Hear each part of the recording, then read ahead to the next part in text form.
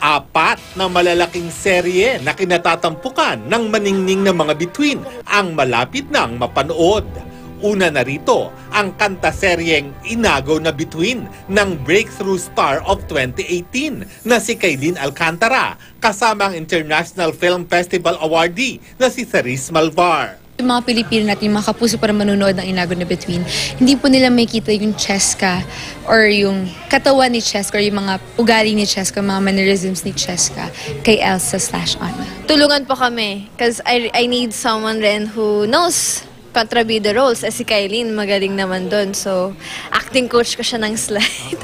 Rom-com naman ang inihahandog ni na Kylie Padilla at Ruru Madrid sa primetime series nilang To The One I Love. Honestly, it feels natural kasi it's very close to, di ba, very, ano siya, down to earth, grounded. Hindi siya reyna. So, it feels exciting and grounding. bagong role lang at uh, bago experience ang gagawin namin dito.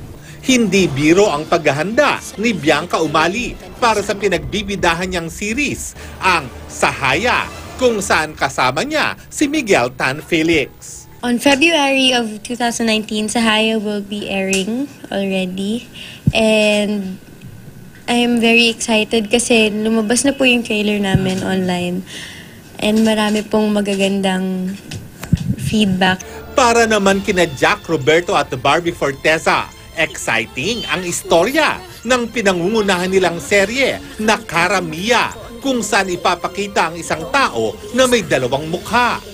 Ipinagmamalaki ni Jack ang malalaking artistang kasama niya sa series. mga hinahangaan, veterano na po. Sila Sir Jan Estrada nandyan, Miss Carmina Villarubel, uh, Glider Mercado, kasama rin po namin si Miss Gina Pareño. So, ang dami pa si Mike Tan, di ba? Andyan po. At ah, si Paul Salas, Mika De La Cruz.